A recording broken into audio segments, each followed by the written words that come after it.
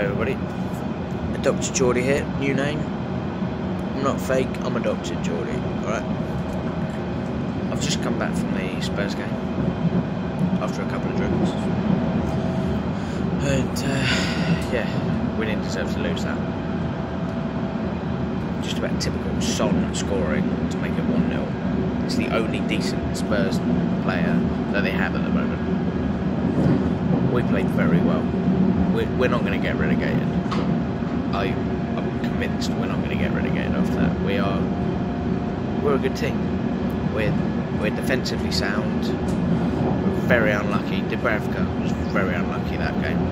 He just, he was just, well, he just let one slip, and everyone does that every so often. Against a smaller team, we would have won.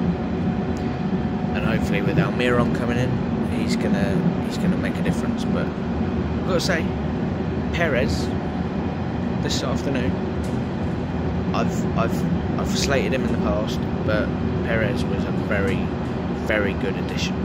He he played well. He played well.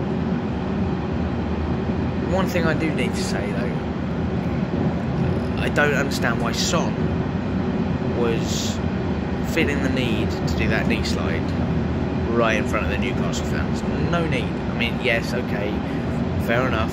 Just he, he scored an 82nd minute winner, and he's he's doing giving it large in front of the away fans. But really, no need, no need whatsoever. And the the Tottenham fans are leaving straight after they won, straight after they scored in the 82nd minute.